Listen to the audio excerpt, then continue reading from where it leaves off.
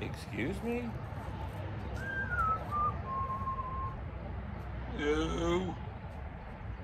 Get your dog in the backyard. Sounds broken. Whatever. Bend with my knees. Put it down. And relax. Well, I'll just ring the bell. What the?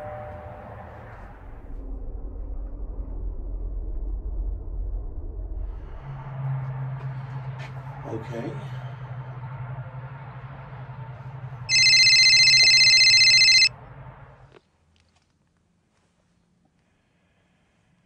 Hello, sir. I've got a box for you. Hello, I've got a box for you, sir.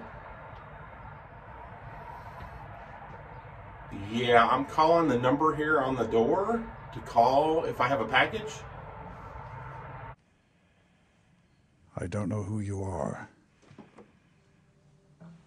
I don't know what you want. If you're looking for ransom, what? I What? can tell you I don't have money. But what I do have are a very particular set of skills. Skills I've acquired over a very long career. Skills that make me a nightmare for people like you. What are you talking about? If you let my daughter go now, that'll be the end of it. I will not look for you. I will not pursue you. But if you don't, I will look for you. I will find you, Are you threatening me? and I will kill you.